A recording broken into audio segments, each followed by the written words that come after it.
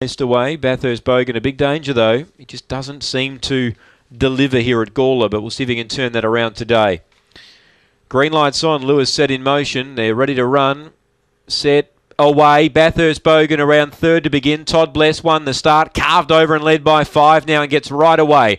Second, Sweet Chloe now making ground. Bathurst Bogan, then Optic Angel. Well back was Nietzsche Allen. Then came Explosive Teddy, Electra Flash, and last is Midnight Diamond. But Todd Bless is in one race. The others in another, headed by Bathurst Bogan. But Todd Bless won by five. Bathurst Bogan second.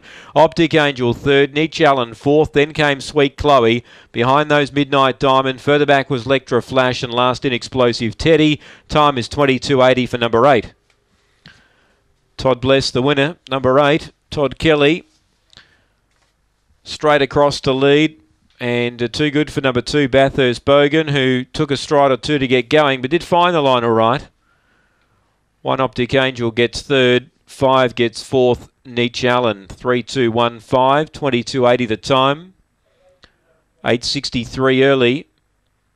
The run home 14 17, 14 17. It's uh, 3 2 1 5. 22 80 the run after race 9. We wait the all clear here after race number 9. 8 2.